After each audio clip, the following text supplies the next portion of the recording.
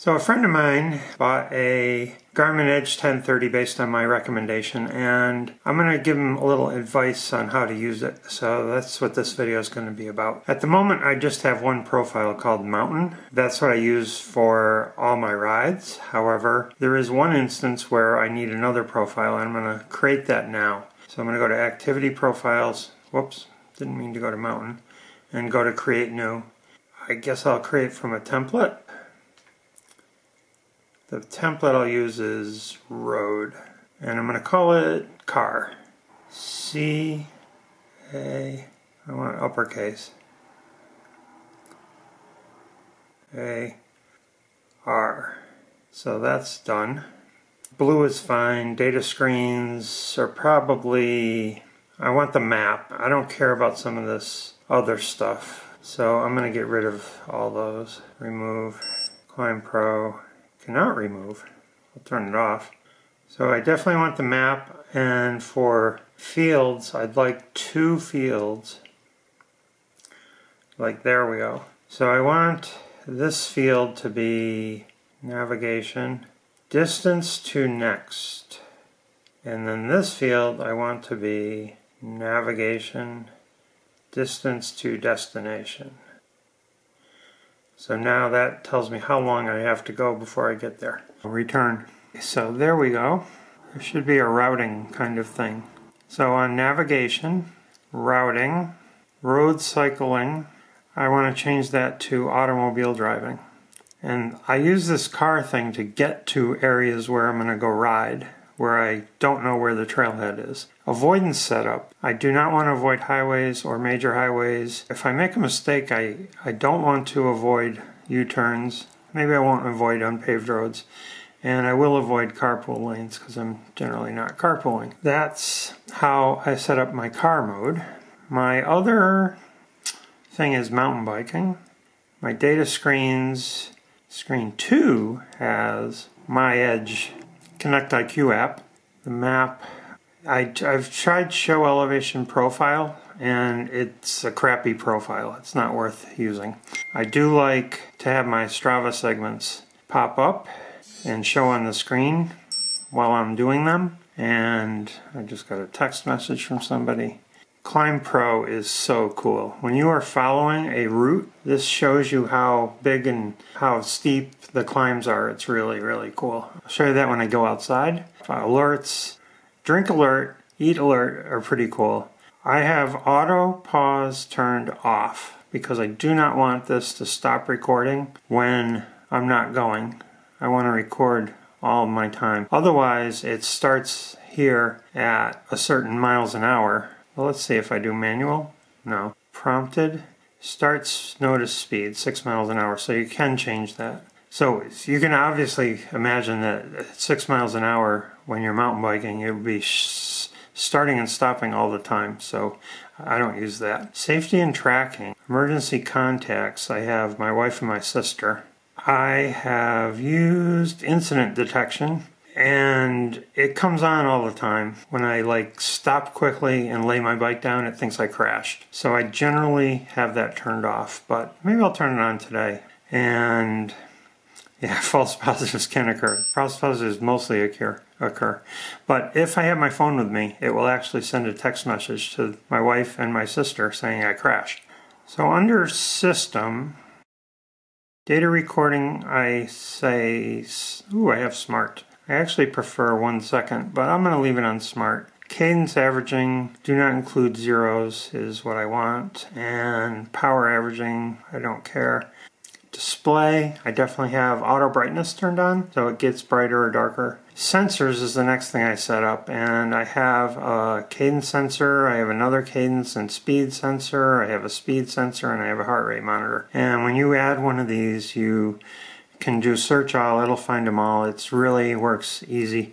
Or you can choose a specific one. So that's how I have mine set up. And I either switch to car if I'm going to drive to a place to go ride and I've already downloaded the route. What I would do is I'd go, I'd put it on car and I'd go navigation, courses, saved courses, and Baldwin Hill, and say ride, and it'll tell me do you want to navigate to the beginning of the course? If I say yes, it'll tell me to take Route 7 to get down to Great Barrington area.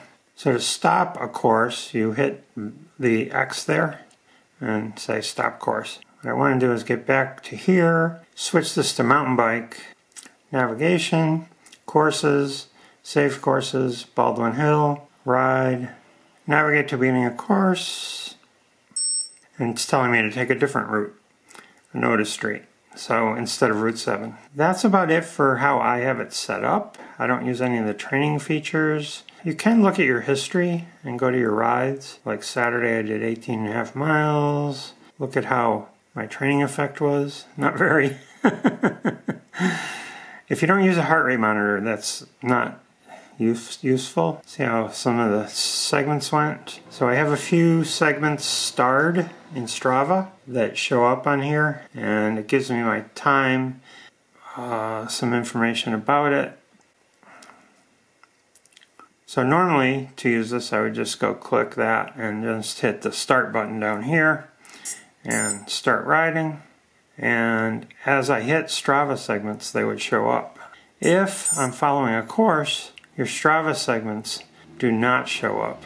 So I'm going to demonstrate that when I get out on the bike. Sometimes I do some canoeing with this unit and when I do I need to find a route if I have a course they call them courses and I where say I wanted to this is this is on a lake I want to look at the map that that I spelled out Bernie on a lake so if I wanted to follow that route it's very difficult to follow in a canoe without going off course and getting all these constant messages that say off course recalculating. So what I like to do is put always display on, which is not normally on. But if you put that on, whenever you're looking at your map, even if you're not following the course, Bernie shows up on my map. By the way, I didn't show you this, but if you if you want to remove the map from where you are, you, you click that little hand symbol and then you can drag the map somewhere. Another thing you need to do is on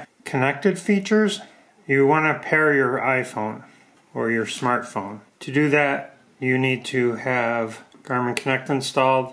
I don't want to unpair mine. If I do forget phone and then I have to go through the whole pairing up thing, you have to enable Bluetooth on your smartphone. You have to start up Connect Garmin Connect and then you have to connect the two and you got to enter a code and all that. But I don't want to go through that for this video. Hopefully you can figure that out.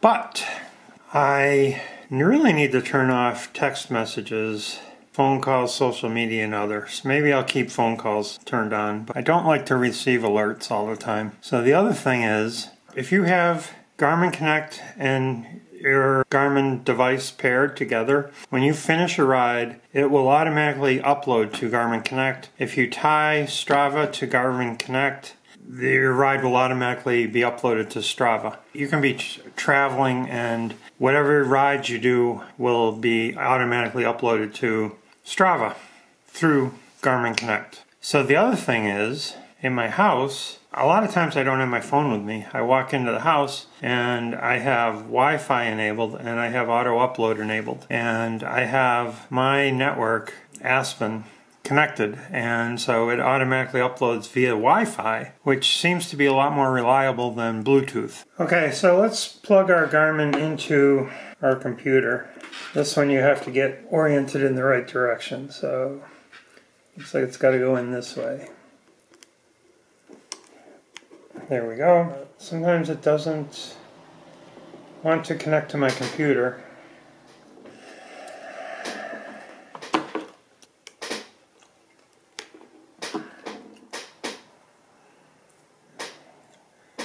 Now it's probably going to work. There we go. Gotta wait till you get that computer looking symbol.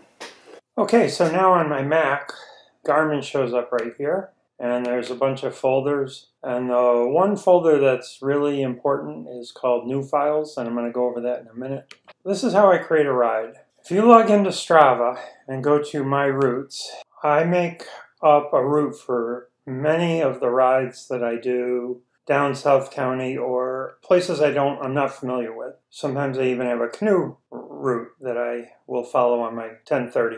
I don't know if you've used this, but to create a new route, you do this. I'm going to do a route today. From my house, I'm going to go up Brombach. So even though my house is over here, I'm going to start the ride at Stevens so I can show you how it calculates the things and says course found and all that stuff. So this is the route that I'm going to take. I'm going to zoom out, out, and go this way, this way. Whoops. I hate that. So it has trouble going through the condos. And there's the need to put several points there. And then it will do that correctly. And I'm going to take Minor Road. You're familiar with all these roads. Goodell, Bridge. And I'm going to go this way to Potter Mountain Road and Churchill Street let's say I wanted to do some trails. So I'm going to zoom in here and you can see Strava anyway has some of these trails on it and the GPS itself will have some of these trails. So if I were to do this and this, let's say I wanted to actually go around this loop, it'll do that on Strava and on your GPS. I'll end here. So if I save that route, and I usually call it mountain bike, I'm going to call it Larry test, and I usually put how long it is. So the ride says 19.59 miles, so I'm going to call it 20, and say save, and then view my route. I can download this route, export to GPX. So I'm going to do that, and it's going to say, well, how do you want to, what do you want to do with it? What I really want to do is save it to a file. So I'm going to save it to my downloads folder. And then if I go to my downloads folder, Larry Test is here. The way I normally put this on my GPS is to copy it. So I click edit copy. And then I go to my Garmin, Garmin, new files. And I don't know what these two things are. I'm going to get rid of them. Paste it in. So I did edit, edit paste. So now when I start up my GPS, it's going to find that file and load it into my saved courses. The other option, Garmin has something called Basecamp, and Garmin Basecamp is free. Pretty much looks like this. So if I double clicked on that or if I had said open with Basecamp, it would be right here. Here's the track and it shows you all the points and you can change the color. So now it's a red line and so there's my route. Under maps, I have a whole mess of maps, but the map on your Garmin is, if I go to Garmin Express, it's called Routable Cycle Map United States 2019.2.0. So if I go to Maps, Central, so it's divided into two. So I'm going to try North, and there we go. This is the detailed map from your Garmin device. So if I zoom into here, at some point the trails show up. So there you can see that and you can follow all these trails. The other way to transfer this to your device would be to say transfer, send Larry test to device. And it's going to ask you, why is that? No Garmin GPS was found. I'm still connected. That's weird. That usually works, but I, that's not how I usually do things. I usually just copy the file. So anyway, I don't really use Basecamp for anything. There is another step you should probably do is you can see what all the segments are you're going to go by and say I want Lake Crest cut through. It's a real short segment. If you star a segment, it will be downloaded to your Garmin GPS if you sync it with Garmin Express. I usually hit sync and it's syncs everything to my GPS. One nice thing about this GPS is the map updates every so often, and all you need to do is sync, and you get an updated map. And the map is of like the whole United States and Canada, I believe. It's pretty cool, and it's got amazing detail on the trails. So another way I find places to ride is I go to Explore and Segment Explorer. You used to be able to go Activity Explorer, but they got rid of that for privacy reasons, I guess, which kind of makes not much sense at all. But say I was going to go ride Case Mountain where you are. I don't know where it is. Let me go to uh, Trail Forks Mountain, Connecticut. Okay, so it's just below Bolton. Bolton, Connecticut, search. Okay, so Case Mountain is there. So if I wanted to ride there, I'd look at some of these segments and so say I want to do Dingleberry Climb. I would click on that segment and I would go look at who has done it and who's done it recently. So if somebody did it in October 2019, and what I want to do is go look at his ride, and he rode 10.9 miles in an hour. Now, somebody who's number two on the Strava board, his 10.9 miles could take me two hours. It looks like a pretty decent ride. Looks like he went up the left side, down around, and counterclockwise around that way. So I would I would know to be going left and then right and then back around and go to left there. That looks like a pretty good ride. Because, I'm a Strava Premium member, I can download his ride. I don't remember which plan I chose, but it only cost me $23.99 for a whole year. Because I think it's 59 for a full-fledged membership. I can download his ride and save it to a file. It's going to be called Morning Ride, which kind of sucks. So maybe I actually would open it in Basecamp and say, okay, and then I would take his morning ride and retitle it to be Case Mountain 11 for 11 miles. The color doesn't matter for your GPS, but I like to change them to red. Now, if I were to take this and let's try to send it to the device. No Garmin found, that's okay. Let's do File, Export, Selected User Data to Downloads. If I go to my Downloads folder, Case Mountain 11 is there. So I'm going to take that one and say copy and then go to my Garmin, Garmin new files and paste that in there. So now I could go do that ride if I wanted to. So that's how I find rides to do in places I've never been. So on his on his ride, he did a bunch of segments.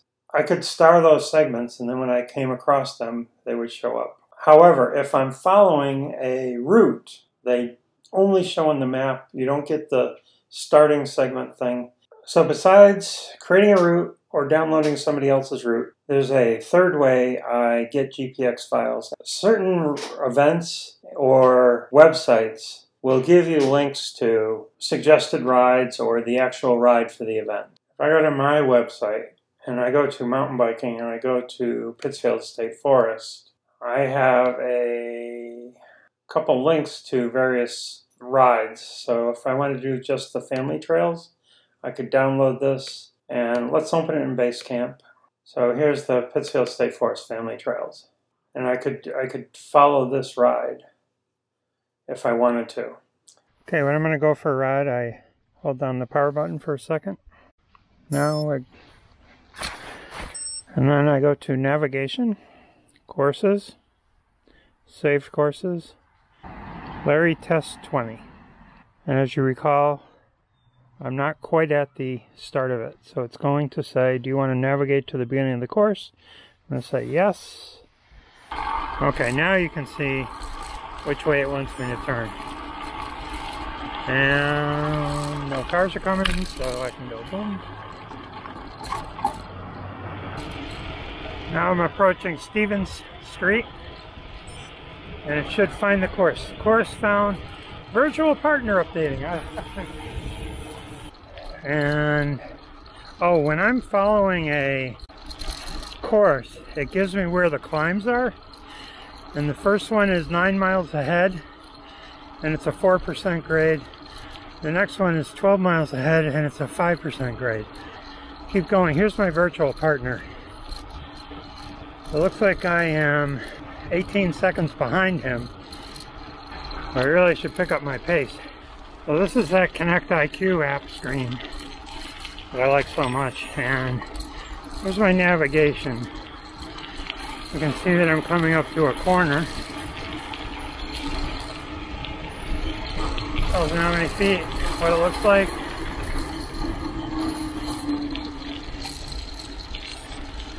Now I'm around the corner.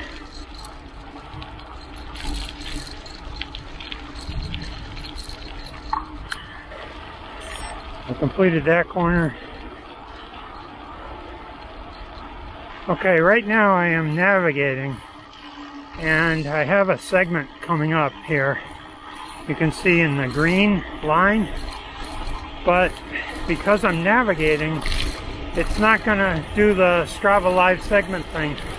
It's just gonna show me that the segment starts right there. What I'm gonna do is go back, turn off navigation, show you what a Strava Live segment looks like.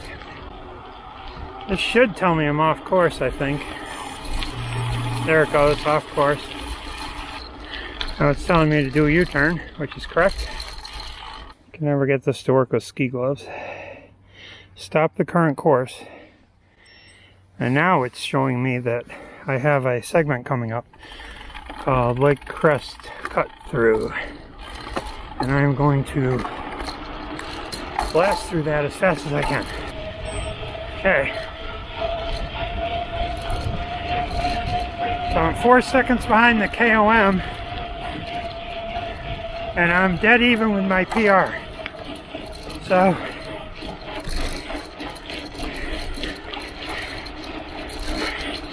still dead even with my PR.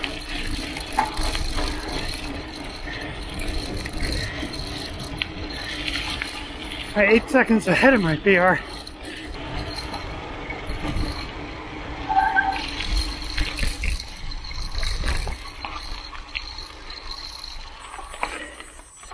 And I broke my PR by six seconds. This is the Connect IQ app I like so much because of the analog speedometer. Okay. 20 minutes? All right. When you told me, it was after 20. Yep. So I'm just... All right, I'm recording now, so... Drink! There you go! it just told me to drink. I guess you figured that one out. I'm guessing it tells you to drink every 20 minutes, which is way earlier than I would drink. I would do this whole ride without drinking. See that little graph down at the bottom of the elevation? That thing's useless. I'm going to show you the Climb Pro in a second, which is awesome.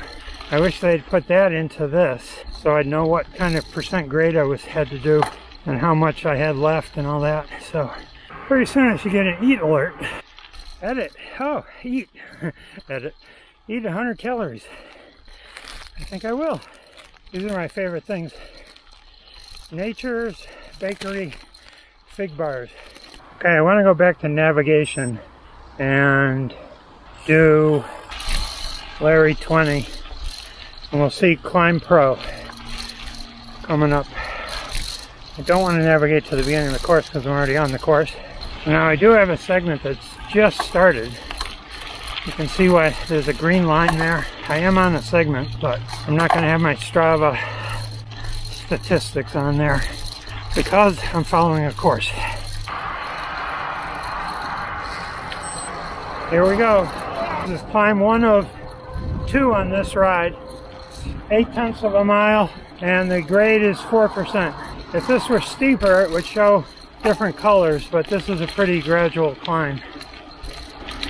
But it's pretty cool. It shows you how we are on the climb with that little red dot. Although the scale here on the bottom slides around. So it doesn't show you the whole climb. But I have 0.68 to go. 4% grade remaining. Right now I'm going at 4% grade. 7% 8%. So the next climb is in two miles.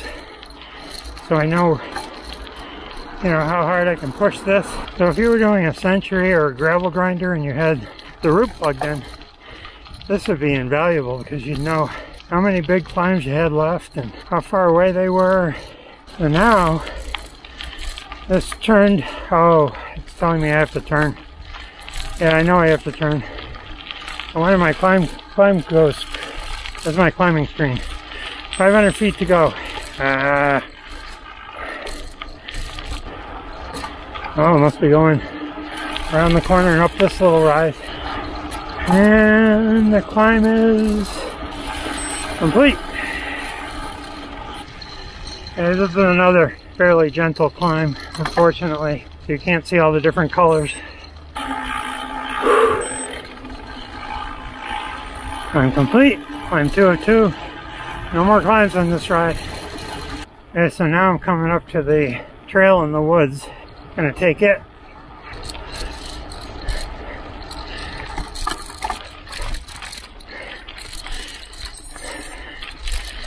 Clearly shows you which way to go.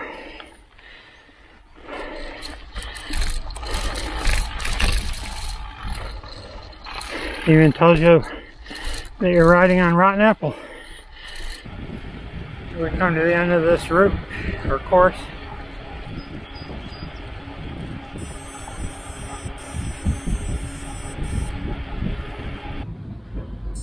Okay, I'm shutting it off, saving my ride, and gotta recover for seven hours. But that's it now. This should start to upload when I get close enough to our Wi-Fi. I do not have the phone with me. Uh, phone connected. I don't know if it's going to upload via the phone. See, it says transferring. Lost satellites because I'm in my basement. And still transferring. taking forever.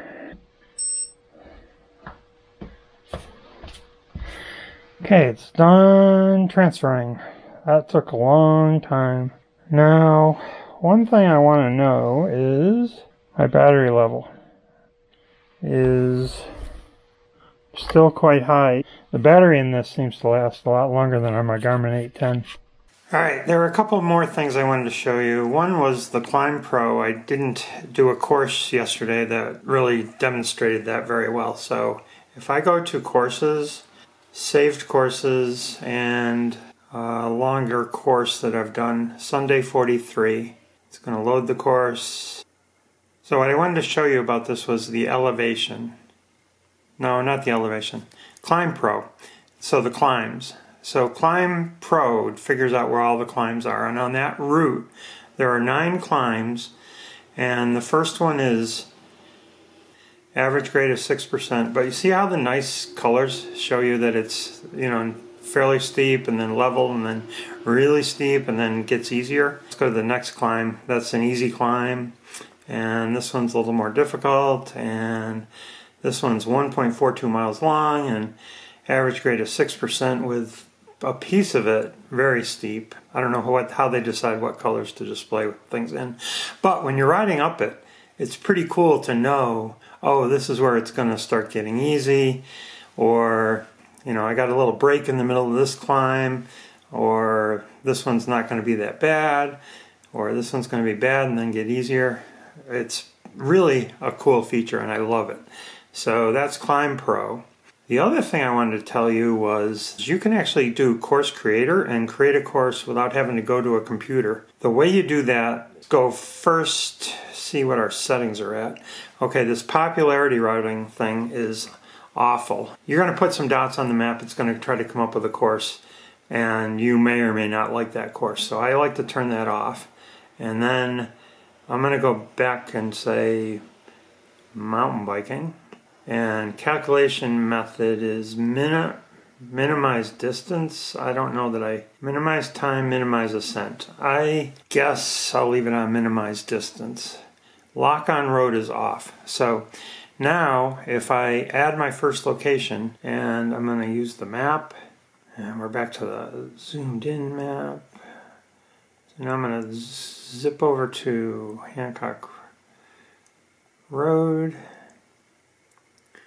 and try to zoom in and say I were to start actually This the, trying to locate the map on the pin is a pain in the ass. You can just tap and the pin will move. So if I wanted to start there, I would say use. And then maybe I want to go in rotten apple. And I could say use. And I'll go up honey bear. Use. And I'll, I want to maybe go to there. And use and come back. Dublin's Run, use, and come back. Fuzzy Bunny, back to the start, use, and now I'm done, and I'm going to say View Map, it's going to calculate it, and there it made a loop following trails. That, that works on the road too, but I just want to demonstrate it on trails. So that is pretty freaking cool. Then you could just say ride it. So there's the little arrow showing you which direction to take that in. And as you rode around, it would show you where you went and guide you along the way. Okay, we are almost done, but there's one last thing I want to show you, which is under navigation. You can have saved locations, recent finds, and stuff like that, but you can also do search. And you could search for a city, and it's going to come up with something like that. And you can spell out the name of the city. Like if I want to go to Dalton, Mass, it would do that, and I could go ride, or if I wanted to go to an address, I first have to choose the state. I want to do Massachusetts. So M, A, and Massachusetts is there. Enter city or postal code, which would be, say I want to do Dalton again. Dalton, Mass. House number, say 1. And street name, let's try High Street. High Street. And it'll it found it and says, Do you want to ride there? And I could ride there and it would calculate how to get there. So that's the last thing I wanted to show you. I think this is an unbelievably great bike computer and I think it is the best on the market for navigation purposes anyway. So I hope you found this video useful and if you know how to do some things that I don't know how to do, let me know. Thanks.